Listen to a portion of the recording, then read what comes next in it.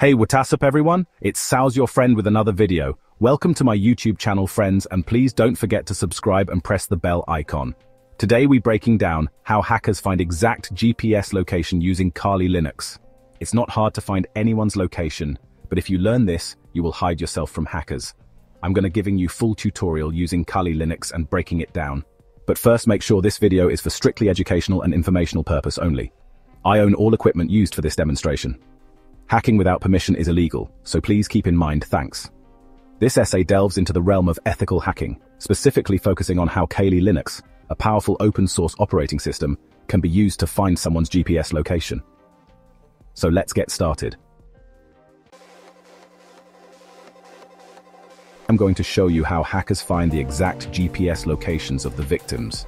First of all, let me tell you this is only for educational purposes. So let's get started. First of all, if you have not updated your system, first do that. So with this command apt-get update, I have already updated my system. Now, first of all, let me tell you how hackers find exact locations. They do uh, use phishing tools like Hound Engine, Rock, Cloudflare. Uh, they use these tools to find exact locations, and we are going to use the Hound tool to find the exact location of my victim. So for that, uh, type this command A, y install BHP or reserve kit, so I've already installed it. Now I'll clone the git repository. With this command, now I've already successfully cloned the git repository. Now go to, first of all, let me see if it has downloaded or not. Yes, it has downloaded. Now it is asking whether I want to use Cloudflare Tunnel or not. For hosting the phishing website, I need to use Cloudflare Tunnel. For yes, I need to press Y. In a few seconds, it will create a phishing link. I'll show you how it looks and how it works. So it has created the phishing link over here. If I press it over here and let me search it on the browser. So here it is, asking me to access my location. Unknowingly, some people will give the permission to access the location to this website. So here in our shell, it has given all the information of my device where I have this, login or open this page. So all of these informations like which browser I'm using, which device I'm using, what's my screen, where's what's my computer score, how much time I'm having, and what's my IP address. All the information that a hacker needs is here and more importantly, it has also given this location. Let me search it on Google. It's my exact location of my house, okay? If you don't have Kali Linux installed or aren't familiar with running commands in Kali Linux, don't worry, I have a solution for you. There are alternative tools and online platforms that can help you achieve similar results without needing advanced technical skills. Let me show you how. GeoFinder is typically an online service or a tool used for location tracking by leveraging phone numbers or other identifiers. It works by sending a link to a target device, which, when clicked, collects geolocation data and sends it back to the tracker. It is not inherently part of Kali Linux, or an extension slash tool bundled with it, but rather a standalone third-party service. Tools like GeoFinder, Grabify, or online platforms like IPlogger and ipinfo.io can help you trace locations without needing advanced technical skills. GeoFinder offers a unique and straightforward method for tracking someone's location by using an image.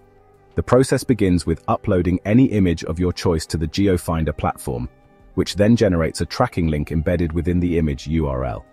You can share this image link with the target person through various platforms, such as SMS or social media apps like Facebook, Messenger and WhatsApp. When sent via SMS, the message is dispatched from an anonymous number, ensuring your identity remains confidential. Once the recipient clicks on the image link, GeoFinder captures their exact location and shares this data with you instantly through your geofinder.mobi account. This method eliminates the need for installing software on the target device, making it a discrete option for location tracking.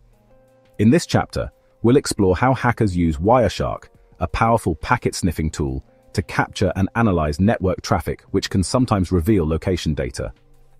Wireshark is typically used for network troubleshooting, but hackers can also use it to capture packets that contain information about a device's connection. These packets can sometimes include geolocation data or clues about a target's location. To get started, a hacker would first need to install Wireshark on their system. Once installed, they would select the network interface to monitor, typically the one connected to the target's network. After setting up Wireshark, the hacker starts capturing packets. These packets carry data such as IP addresses, communication protocols, and sometimes even location information if the target is accessing location-based services or apps.